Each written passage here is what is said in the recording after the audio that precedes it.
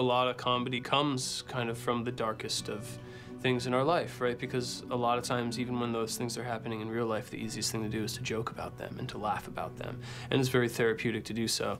Aubrey's just so much fun, you know? She's really funny and she has this really brave but also awkwardly shy sense of humor all at the same time. She was a great zombie. I mean, she has way too much fun being a zombie and um, she just went all out and was really, really great on not just being any zombie, but being a zombified version of Beth.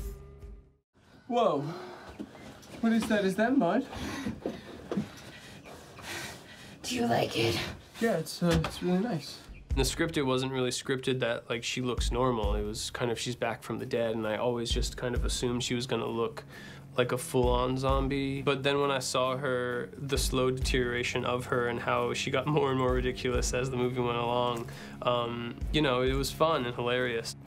I think like what's great about the film, there's all these different comedians and actors and they're all different. You know, they all work in different ways and they all come from different backgrounds. You know, Cheryl and Paul had a very different energy than John and Molly and everyone's really funny, but they're funny in such different ways. It was so interesting to watch. But mostly we stuck to the script. You know, we had a really good script and we had a really tight schedule. So um, a lot of times the best solution was to stick to that and try to make that work. We were all doing this movie because we truly wanted to do it. It was, there was no other reason that anyone was there other than that they liked the script and they were excited to make the film.